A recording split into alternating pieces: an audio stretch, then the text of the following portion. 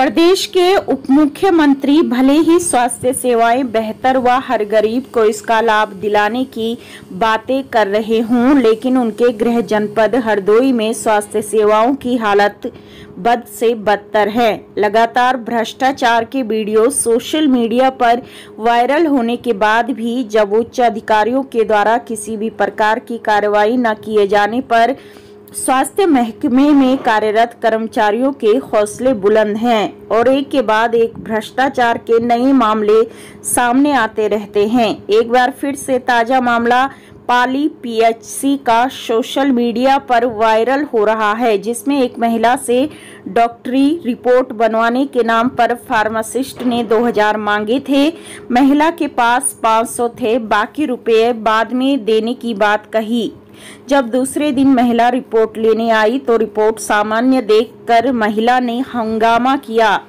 काफ़ी देर तक महिला का हंगामा पीएचसी परिसर में चलता रहा, जिसका किसी ने वीडियो बनाकर सोशल मीडिया पर वायरल कर दिया। मामला जब तूल पकड़ने लगा तो फार्मासिस्ट में दूसरे कर्मचारी के द्वारा महिला के 500 वापस कराए वायरल वीडियो में साफ़ देखा जा सकता है कि किस तरीके से स्वास्थ्य महकमे में भ्रष्टाचार पर भ्रष्टाचार हो रहा है। लेकिन उच्च अधिकारी की मेहरबानी से किसी भी भ्रष्ट कर्मचारी पर कार्रवाई नहीं हो रही है।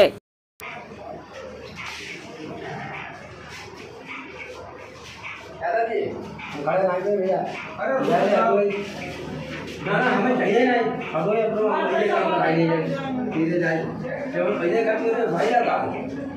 कोई काम ना पाँच रुपया दिए पंद्रह इन्ने मांगे इन्ने पंद्रह रुपया क्यों मांगे।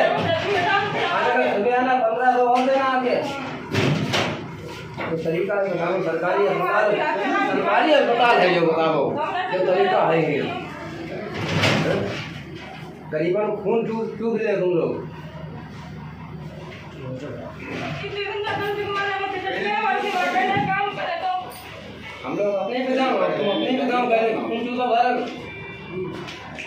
चलो काम करो उस दोस्तों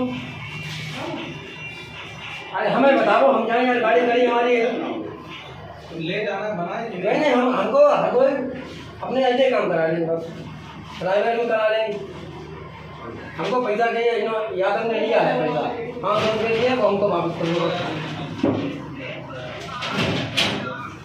पैसा हाँ सौ रुपये दिए वो हमको वापस कर दो समझे और पहले पंद्रह रुपये हो गए ना हम उसमें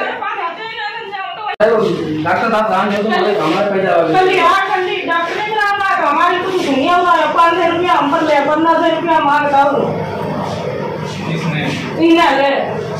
अरे वो फुल- है तो फुल्डी ने फुल्डी ने नहीं तुमको बताया जा रहा कि तुम हम बड़ा थाने मार बोले मारा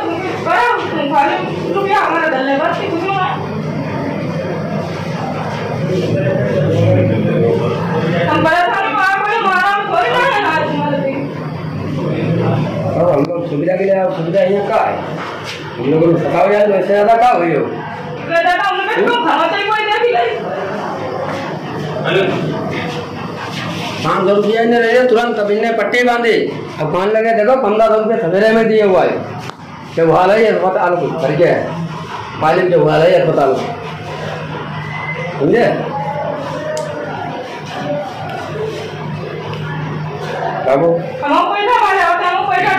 तो हमारे चोट लगी, भाई को धोना खच्चर हो जाएगा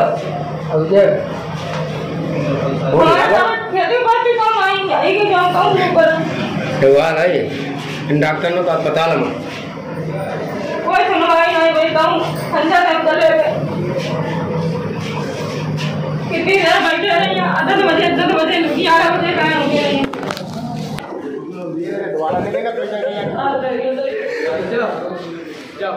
चलो ठीक जाओ। दोबारा पैसे नहीं देगा किसी को बता दे रहे